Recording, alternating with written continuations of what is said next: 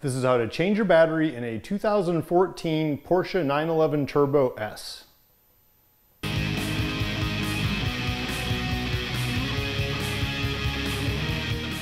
Before you do any task, it's always good to check out the manual and see what information they give you because usually there's quite a bit of information. Porsches are designed by engineers that actually know how this stuff works.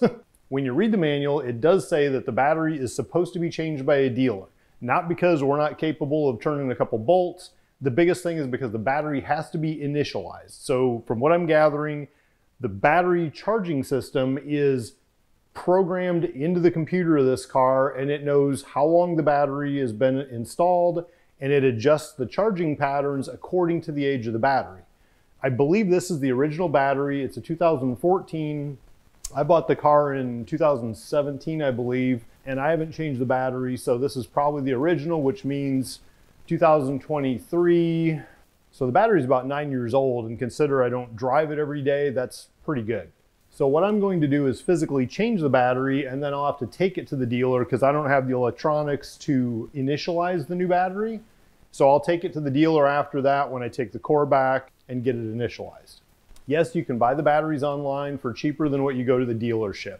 I'm in kind of a hurry because I'm supposed to drive to Phoenix Thursday morning, so I needed something quick, and I also wanted to make sure that I had a place to take the core back and not get stuck with a dead battery. You would think all the batteries for a 2014 would be the same, but when I called the dealer, they actually had, I think, two or if not three different amp hour ratings for batteries. I had to actually give the dealership my VIN number so they could determine that yes, this takes the 95 amp hour capacity battery. So if you're gonna order over the interweb, don't just blindly order a 2014 battery. There are variations. Make sure you get the same capacity as what you've got. The first thing we need to do is open the frunk or bonnet or whatever you want to call it. And that's done with this handy little button down here, which will release the latch. You can also do it from inside the cabin. Just open the door and flip the little switch in the front. And then you come over here and you manually slide to the right, right in the center, pop it up. Now this is a good time to check your struts. I've recently replaced these so I know they're both solid and it's not gonna fall on my head. With this car, I've already installed a battery tender pair of leads here so that I can keep it on the trickle charger when it's been sitting for a while. At this point, if you have one of them that plugs into the cigarette lighter, now's the time to put that in place. That way when you remove the battery leads, you don't lose all the programming and settings and everything inside the car. The cigarette lighters are about $200. That's why I just went with one of these pigtails for about 15 bucks. I'm gonna play with it and see if I can't use this somehow to maintain the memory. Otherwise I'll be reprogramming it. So the first thing you wanna do is take this panel off and you can see you've got these two little snap-in spots. Lift it up and just slide it out very carefully. Everything you do, I'm to be very careful. Now this thing here, I have to kind of push back inside since that's my own doing. Okay, now carefully pull it out. Set that off to the side. The next thing I'm going to do is take an old comforter and lay it across everything because I do not want to scratch the paint somehow, dropping a wrench or a nut or bolt or anything like that. This car does have the clear film on the, uh, from this point, you can kind of see that seam, but it's got the clear film from there down as well as on the hood. It's got a little protection already, but I just want to be extra careful with this. And there's my lead. You can see that. So I'm going to start getting some tools out. First, I'll cut the wire tie right there that held, holds the pigtails onto that bracket. The leads that I put on here for this pigtail are actually under the nut that hold the terminals in place. It's possible I'll be able to loosen this up and actually keep a charge. So I'm going to plug a pigtail into this guy just in case that works. Looks like the first thing that has to come off is this guy right here. And this is your tire repair kit. And you can see I've got a couple bolts right there that are Torx screws. This looks like that should pop out of there, but here's your little pump kit. Put that off to the side.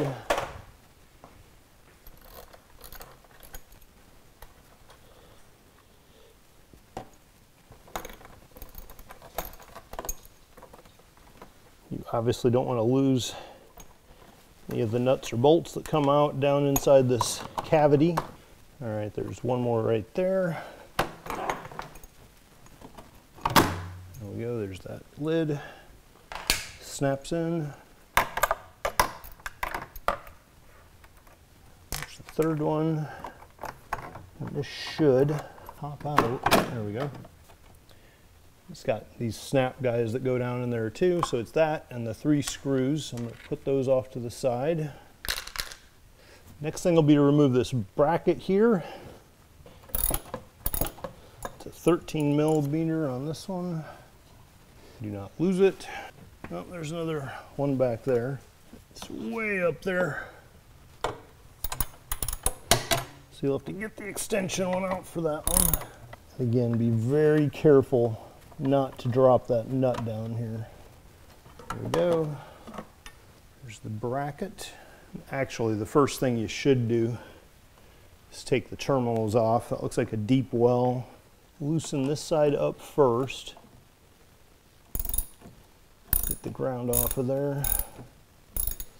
All right, so I can see it moving already. And I don't want to loosen it too much because I want that ideally to stay in contact. So I'm going to carefully slide the negative terminal up, that off to the side. We'll have to spread this one's legs a little bit here. So we have more room. Now let's get the positive one. Again, I don't want it any looser than what I need to just to get that terminal off.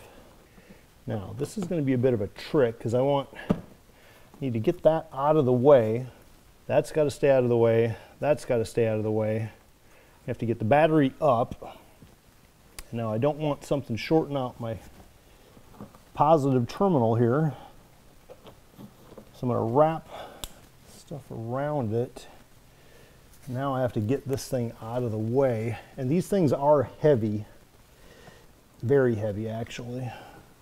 Positives out of the way. What I'm going to do is I don't really like putting too much weight in here, but I am going to put a foot in this just to try to use it for leverage. And I'm going to try to carefully get the battery out around these cables, past the plus, and out of the way.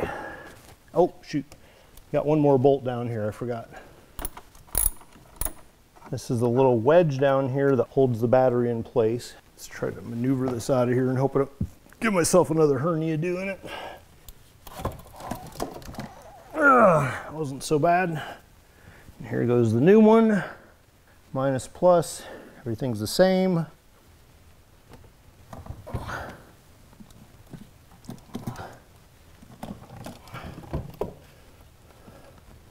They are heavy. This is not something in good conscience I can recommend doing by yourself like this, but if you've done enough bro science over the years at the gym, I guess it's not too bad. I'm going to do the terminals first. So I've got the positive off. Slide it on in. You want to make sure it's all the way down to not sitting up. You got to kind of rotate it out a little bit as you go. I wouldn't use metal to knock it down, but something non-metallic.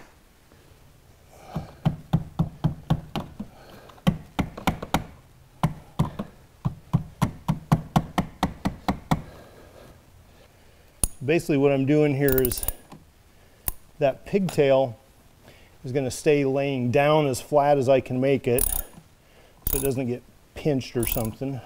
And all I've done with these pigtails is just put them under the nut that holds the terminal in place. So that's a real easy thing to do if you want to save a couple hundred bucks on your trickle charging method. All right.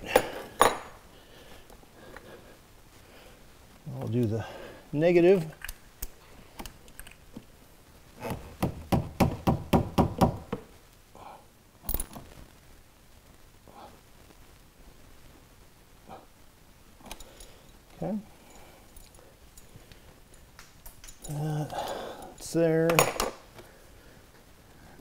In theory, this thing should have power.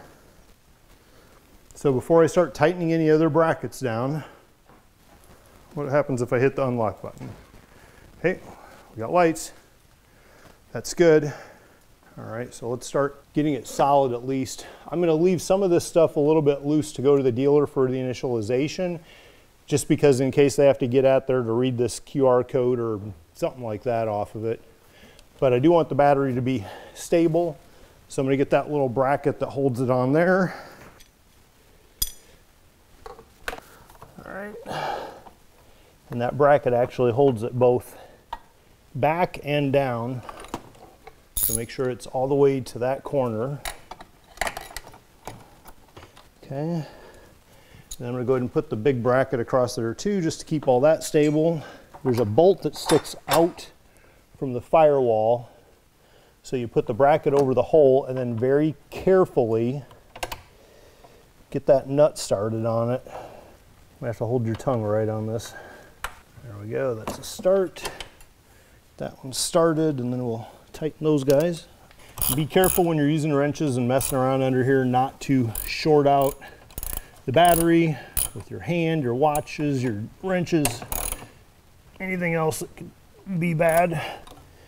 Make sure to keep good engagement between the socket and the nut so you don't accidentally come off and round off the head. That would be bad. Put the second nut down here. Okay, it is solid. Now, like I said, I'm gonna leave this stuff out. I don't want that flopping around, so I'll put a put that bolt in place there, just so that it's not jumping around on me. Okay, I'm gonna unplug this, put the cap over it. I'm just gonna tuck this down here for now. Again, allowing the dealership all the access they need. All right, now with everything in place, as much open as I can, dealership will open in a few minutes and I'll go ahead and take it in there to have them initialize it and then I'll put all the trim pieces back on. It's worth, it does look like it's happy with everything. It kept all my stations, it's still got connection to my phone. So it does seem happy. The only thing that I notice is the time is off minor detail. But everything else looks good, no warning lights. So I guess having that battery tender charger hooked up does save most of your information. So that's, I wonder if the garage door opener will save. See, the garage door opener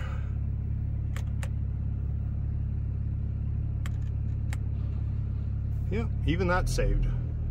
It's awesome. Uh, I don't see my thermal camera yet. No, that's interesting.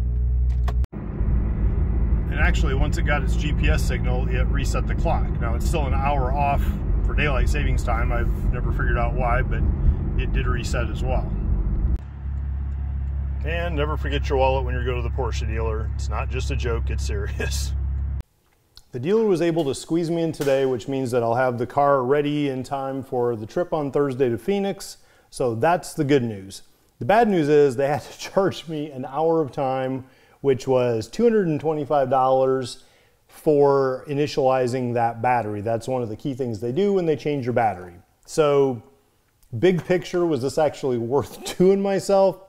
It's debatable. It might have saved me a little bit, but probably not a hell of a lot. So anyway, it's what you need to do to make sure the system's charging I heard horror stories of people saying they didn't do the initialization and their new battery was shot in a few months. So with cars like this, I don't mind turning wrenches myself, but if it comes to taking shortcuts that might affect the longevity or the operability or performance or anything, it's just really not worth it. So now that the car is back and it's initialized and everything's working well in it, now all I gotta do is put the pieces back on. So the first thing I'll do is put the wire ties back on the pigtail. Just I'll wrap these around here.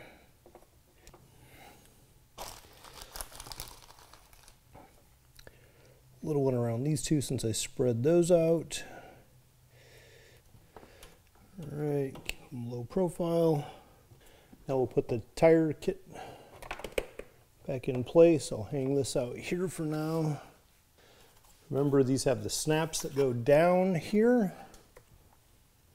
It's probably going to be hard to see with that camera, but those little clips, they have a clip that goes up and over, and that goes down over that battery tray.